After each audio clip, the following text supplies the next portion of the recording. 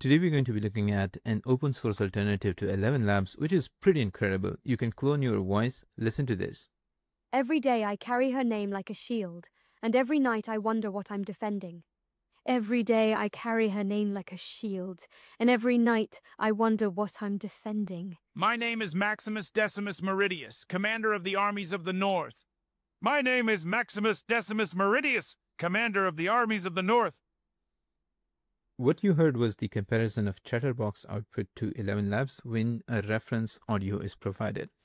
And as you can see, the model is pretty expressive and it's also uncensored.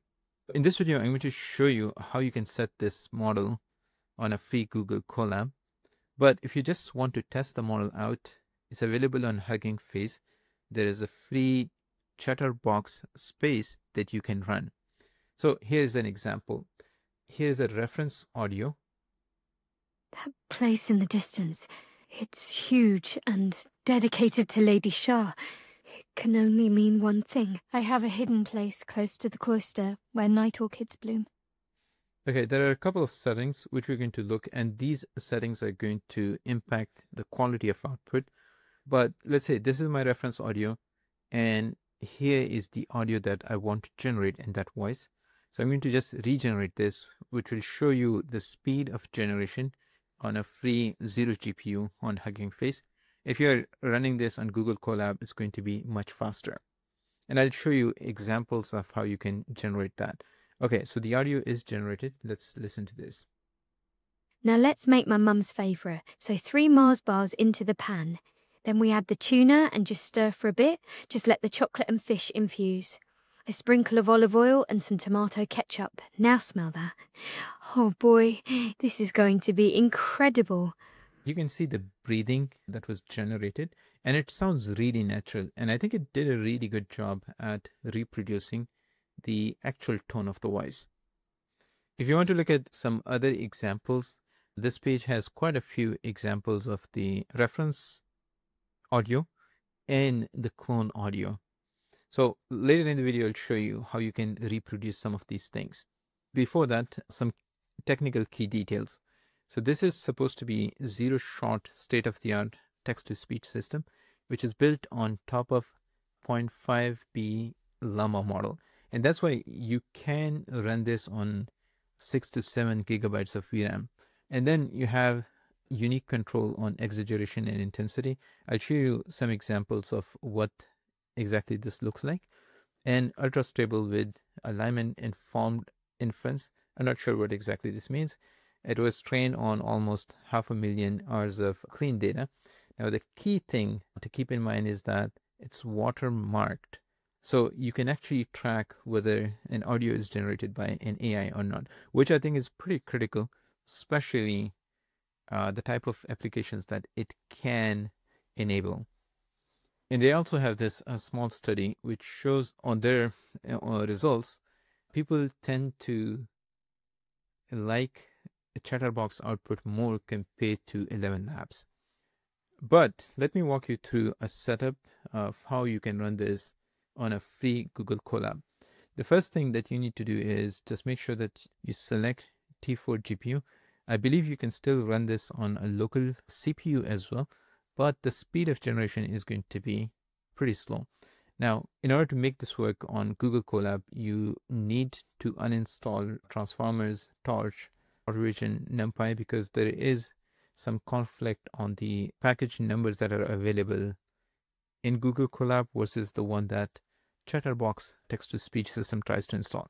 So first we're going to just uninstall everything and then we're going to install Chatterbox text-to-speech system. I think you can also run this on a MacBook with the new M series unified GPUs. If you're interested, let me know. I'll create a separate video on that. I'm creating this in a Google Colab notebook because everybody is going to have access to it. So first we need to import the libraries. Then we want to make sure that we load the model on our NVIDIA GPU. So this has a T4 GPU. And right now the system VRAM or the, the GPU RAM is pretty consistent we are downloading the model so the system RAM usage goes up a little bit. Okay, so the model is fully loaded and right now we are using about 7.5 gigabytes of VRAM on this machine. So first we're going to try one of the examples. I have ran some of these before, but we're going to redo the generation.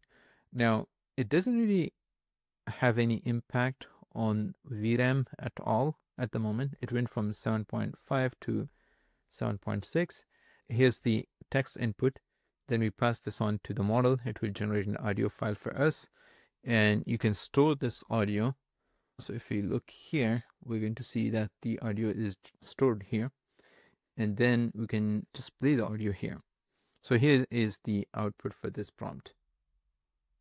Ezreal and Jinx teamed up with Ahri, Yasuo, and Teemo to take down the enemy's Nexus in an epic late-game pentakill. Okay, so pretty good. It sounds more like Sam Altman. Let me replay this. Ezreal and Jinx teamed up with Ahri, Yasuo, and Teemo to take down the enemy's Nexus in an epic late-game pentakill.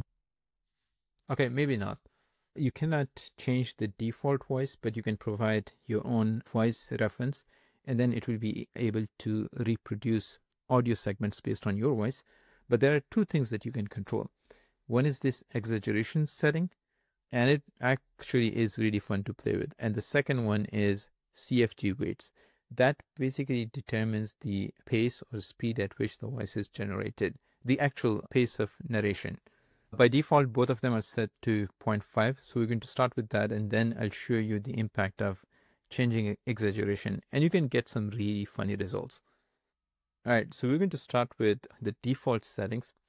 Uh, now, one other thing is that the using caps can actually change how the words are pronounced. So you probably want to play around with this. So for example, this is an audio output with the default settings.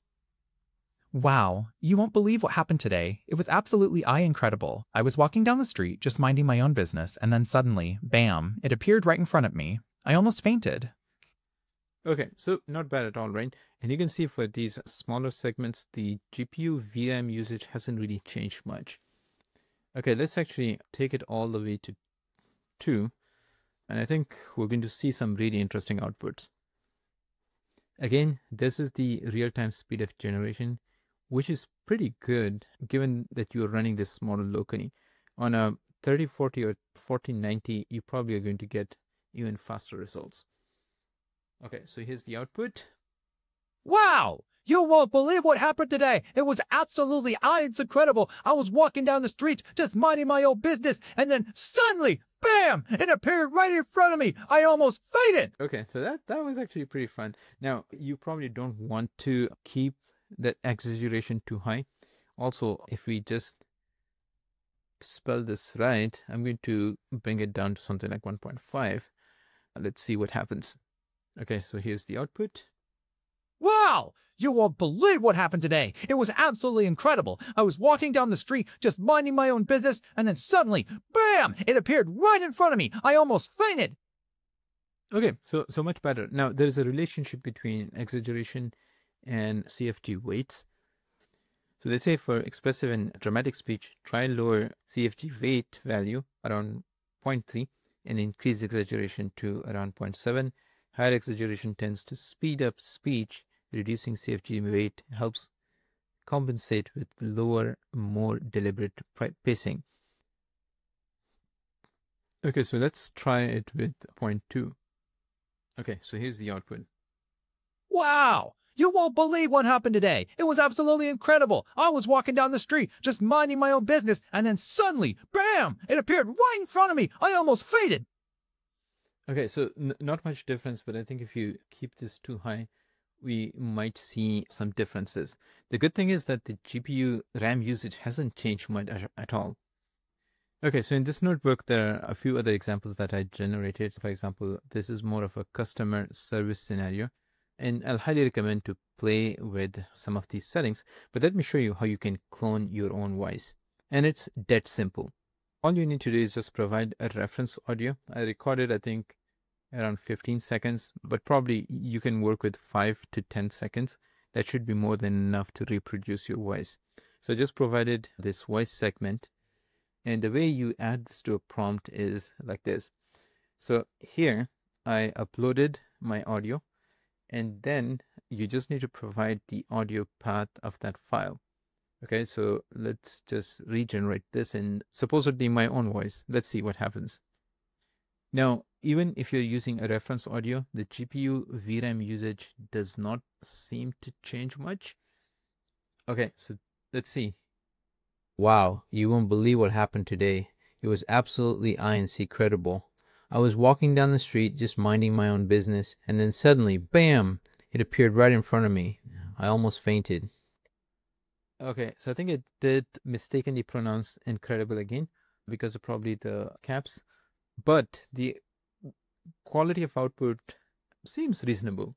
Also, it will depend on whether you have background noise or not. In this case, I think I did had some background noise, but I think it's not bad at all. Now, the other settings like exaggeration and CFG weights will still work even if you're bringing your own audio. So here is an example. I kept the exaggeration to 1.5 and CFG to 0.5. Now in this case, it does seem to be taking a little longer and the GPU VRAM usage also went up a tidbit, not too high. Please remain calm. There is no need for alarm. We have the situation under control. Our team is working diligently to resolve the issue as quickly and efficiently as possible. Your cooperation is appreciated during this time. Okay, that was definitely exaggerated, right? But you want to just play around with these hyperparameters to figure out what is going to be the best case for your specific needs. Okay, so these were some quick tests.